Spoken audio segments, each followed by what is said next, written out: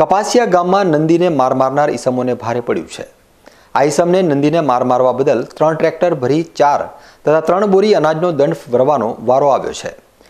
કપાસિયા ગામમાં નરાધમીઓ દ્વારા નંદીને ઝાડ સાથે બાંધી માર મારવામાં આવ્યો હોવાનો વીડિયો વાયરલ થતાં એકતા એજ લક્ષ સંગઠન અને ગૌરક્ષા દળ બનાસકાંઠા જિલ્લાના પ્રમુખ રોનકભાઈ ઠક્કરે તાત્કાલિક આ ઈસમને પકડવા માટે અમીરગઢના કાર્યકર્તાઓનો સંપર્ક કર્યો હતો.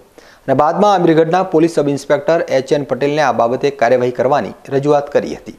આ વાતની ગંભીરતાના પગલે પીએસઆઈ કપાસિયા ગામે દોડી ગયા હતા અને અનિલભાઈ ગઢવી, શ્યામસિંહ ડાભી, નરેન્દ્રભાઈ વણઝારા, રણછોડભાઈ પુરોહિત, હિતેશભાઈ પરમાર, યોગેન્દ્રસિંહ, હરપાલસિંહ, કૃષ્ણપાલસિંહ તેમજ વિશ્વ હિન્દુ પરિષદ અને બજરંગ દળના કાર્યકર્તાઓ કપાસિયા ગામના સરપંચ પ્રભુભાઈ રબારી તેમજ ગામના પંચોએ સાથે મળી. નંદીને માર મારનાર દીપાભાઈ મોડાજી મેઘવાળ, રેવાજી વિરાજી મેઘવાળ તથા જીવાભાઈ કેસાજી રબારીને દંડમાં ત્રણ ટ્રોલી પક્ષીઓ માટે ચાર અને ત્રણ બોરી અનાજનો દંડ ફટકાર્યો છે. અને આગામી સમયમાં આવી રીતે ક્યારે કોઈ અબોલ પશુ પાસે અત્યાચાર નહીં ગુજારે તેવી માફી મંગાવી છે.